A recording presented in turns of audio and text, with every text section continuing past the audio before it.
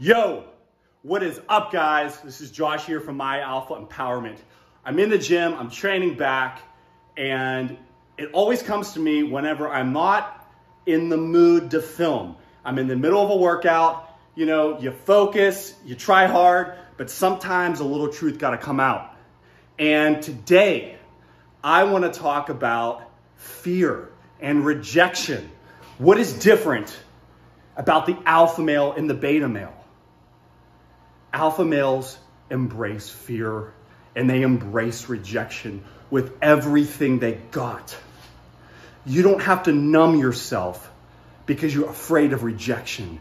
You embrace that rejection like a man. You embrace the fear like a man.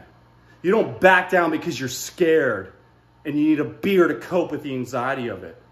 You go up there to her and you talk to her and you look forward to that rejection or you look forward to that kiss.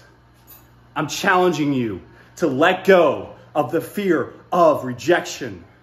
Understand that if you're an alpha male or you want to become an alpha male, that rejection and fear are just part of the process. They never go away.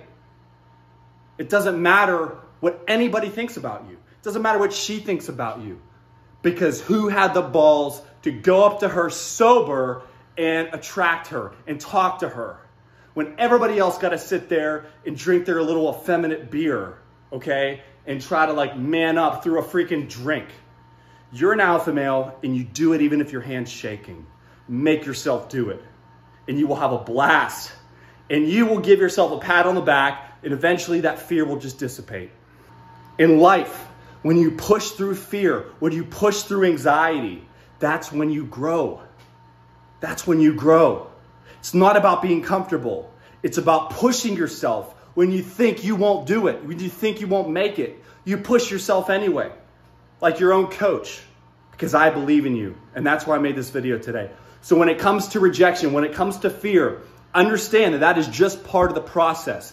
I have to wonder if you never feel any fear or you never ever feel, you know, the thought of rejection, if it never crosses your mind every now and then, I have to wonder, even to myself, am I pushing myself enough? Because if I'm not uncomfortable every now and then, I'm being too safe. And so are you. I'm not saying to go out there and do stupid stuff. I'm just saying you got to get over your own insecurities.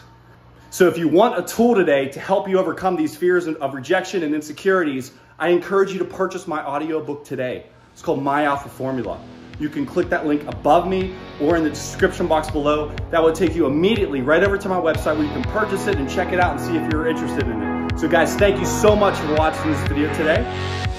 Be empowered.